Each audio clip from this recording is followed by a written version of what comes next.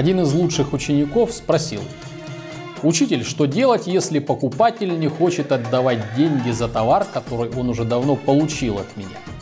Учитель промолчал и сделал вид, что не услышал вопроса. Ученик повторил вопрос и снова не получил ответа.